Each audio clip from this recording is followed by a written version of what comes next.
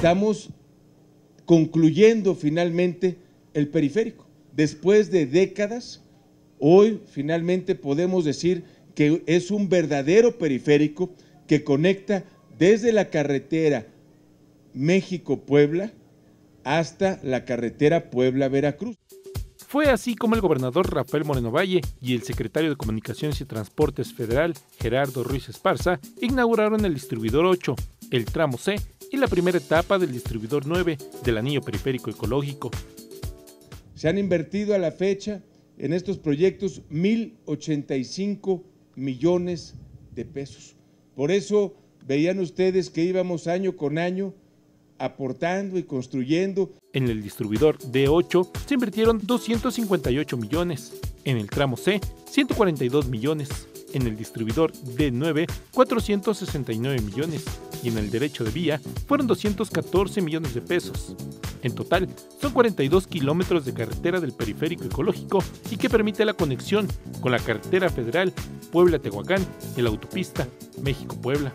Inversiones importantes que a veces no alcanza uno a dimensionar, pero que aquí está ya la obra que beneficia a 1.616.000, prácticamente 1.615.000 habitantes que están siendo beneficiadas por la construcción de estas obras, una obra eh, que le va a dar cabida a 25 mil, a más de 25 mil vehículos todos los días. Las obras de alto impacto en la zona metropolitana permiten la llegada de inversiones al municipio de Amsoc, generando desarrollo y fuentes de empleo bien remunerados.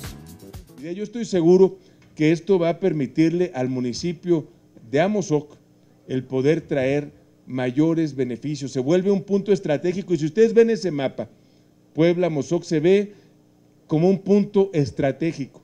Y esos puntos estratégicos permiten la posibilidad de traer empresas, de atraer inversiones y eso, por supuesto, trae como consecuencia la generación de empleos bien pagados. Esta es una forma de facilitar que haya más inversiones, que haya más empresas, que Puebla siga siendo un centro muy atractivo para hacer negocios. ¿Y eso qué significa? En pocas palabras, empleo para ustedes y calidad de vida. El presidente municipal de Amozoc, José Cruz Sánchez Rojas, agradeció al gobierno federal y estatal la coordinación que existe para la realización de este tipo de obras. De todo este periférico, y me refiero que es una suma de más de mil millones de pesos. De verdad, gracias señor gobernador por impulsar el desarrollo en infraestructura para nuestro municipio. Y gracias al gobierno de la República por apoyar a nuestro señor gobernador. Ruiz Esparza mencionó que durante la administración federal han invertido más de 25 mil millones de pesos en obras para Puebla y en el país se están ejecutando más de 4.900 obras.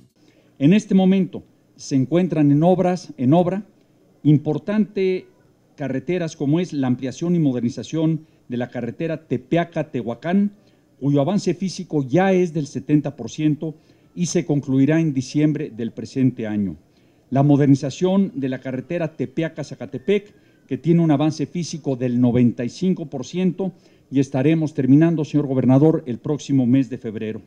La construcción, la construcción del libramiento Cerdán, que registra un avance del 60%. Estas acciones garantizan la llegada de las inversiones a la zona.